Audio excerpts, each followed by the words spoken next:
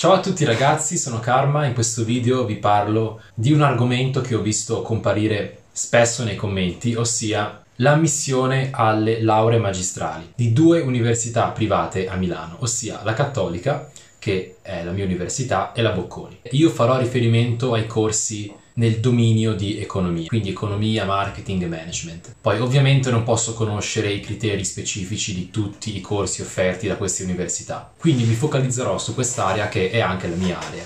Allora, cominciamo dalla cattolica. Il regime di ammissione in cattolica alle lauree magistrali si basa su un sistema ad ordine cronologico, quindi ci sono tre ordini di tempo che vengono considerati per consentire ai candidati di mandare la propria candidatura. Il primo ordine cronologico è destinato a coloro che hanno una media ponderata di tutti gli esami che hanno svolto fino a quel momento uguale o superiore a 26. Se avete una media ponderata uguale o superiore a 26, sarete i primi a fare ammissione e ovviamente avrete la priorità rispetto agli altri. Il secondo ordine cronologico è per quelli che hanno una media ponderata compresa fra 23 incluso e 26 mentre il terzo per tutti gli altri. Quindi ci sono dei diversi periodi di tempo in cui voi potete inviare la candidatura in base alla vostra media. Ora non è detto che i posti verranno esauriti subito con la prima ondata di coloro che hanno una media 26 o superiore. Però costoro saranno quelli che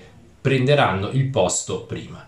Ora, i posti del mio corso erano 100, credo, però qua non si è mai troppo rigidi ovviamente. Considerate che le università sono comunque dei business, quindi anche per loro ovviamente è meglio avere più studenti rispetto che meno studenti, però ovviamente il numero di candidati viene limitato, prima di tutto per una questione di spazio e di capienza nelle aule. Solitamente, quelli, solitamente quelle per la magistrale sono più piccole e poi per consentire magari una qualità dell'insegnamento migliore e per consentire poi ai professori di stringere rapporti eh, migliori fra studenti e professori, perché se fosse in 500 sarebbe sicuramente più difficile. E poi c'è anche la questione di mantenere comunque una certa immagine di università comunque selettiva che non fa entrare tutti ma che ha comunque dei requisiti. Ok, poi per quanto riguarda i corsi eh, tenuti in lingua inglese come il mio, dovete avere una certificazione o sostenere un test di ammissione interno dell'Università Cattolica. Ci sono quindi queste due possibilità.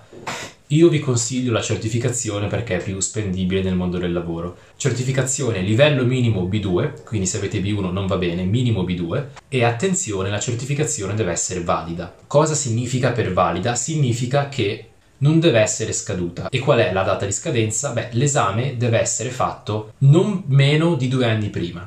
Quindi se mandate la candidatura per quest'anno, che è il diciamo, 2021, allora la certificazione dovrà essere stata acquisita a partire dal 1 gennaio del 2019. E attenzione, cosa significa acquisita? Significa non che il foglio della certificazione è stato rilasciato a partire dal 1 gennaio, no, significa che dovete aver svolto l'esame a partire dal 1 gennaio del 2019. Quindi se voi fate l'esame a dicembre del 2018 e la certificazione viene emessa a gennaio del 2019, siete purtroppo fuori. Dovete fare l'esame a partire da gennaio del 2019. Io infatti qua sono rimasto fregato perché ho dovuto rifare la certificazione due volte perché la mia si riferiva ad un esame svolto a dicembre del 2014, mentre era necessario svolgerlo da gennaio del 2015. Ok, questo per quanto riguarda la cattolica. Non sono necessari test di ingresso di alcun tipo, se non quelli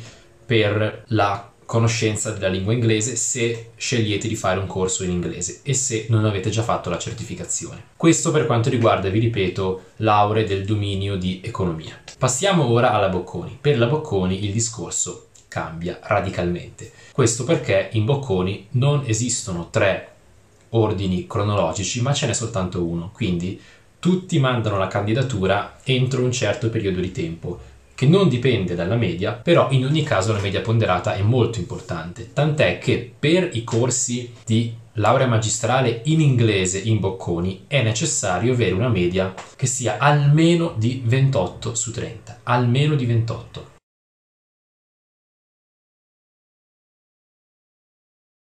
Infatti i corsi in inglese in Bocconi sono considerati un po' i corsi d'elite, Pensate ad esempio che al Politecnico i corsi di laurea magistrale sono solo in inglese, quindi sta un po' prendendo piede l'idea che i corsi di laurea magistrale fatti in inglese siano quelli più, mm, diciamo, di alto rango. Ed è per questo che la selezione per questi corsi è più dura, è più esigente, mentre per i corsi di laurea magistrale in italiano non c'è questa limitazione. Cambia che dovete anche inviare il vostro curriculum e una lettera di motivazione. Avete capito bene? Anche il curriculum, nonostante sia mh, difficile per voi aver svolto già esperienze lavorative, mh, diciamo, significative eh, entro la triennale, dovete comunque redigere un curriculum e una lettera di motivazione e anche queste verranno considerate. Altra esperienza che sarà tenuta fortemente in considerazione è quella dell'esperienza all'estero, soprattutto per il corso in lingua inglese. Sarà,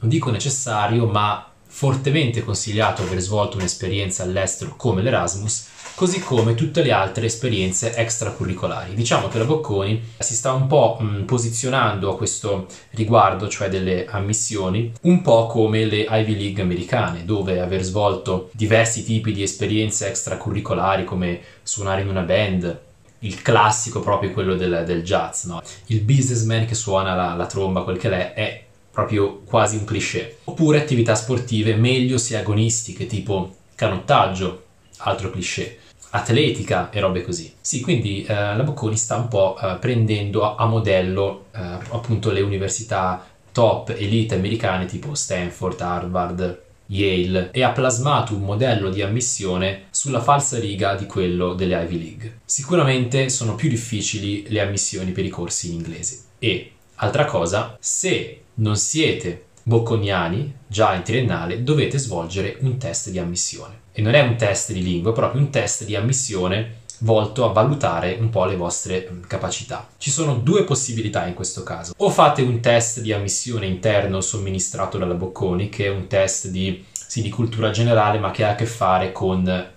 materie economiche, non è che vi chiedono quale anno c'è stata la crisi missilistica a Cuba, sono test di cultura economica, quindi che hanno a che fare con le materie che di solito si studiano in triennale, quindi uh, macroeconomia, microeconomia, marketing, economia aziendale, economia delle aziende di credito, finanza e così via. Oppure l'altra opzione è quella di fare il GMAT, che è questo monumentale, colossale, imponente e minaccioso test, che è un test molto sofisticato, molto, sì, molto difficile, per cui è necessario prepararsi mesi e mesi prima, incorpora uh, diversi tipi di test, appunto test grammaticali, di comprensione del testo, di uh, abilità coi numeri, di logica. È un test veramente, veramente tosto. E se sceglierete questa opzione dovete eh, mettere in conto davvero di eh, studiare tanti mesi prima di fare questo test. Quindi questo è tutto per quanto riguarda le ammissioni alle lauree magistrali in Cattolica e in Bocconi.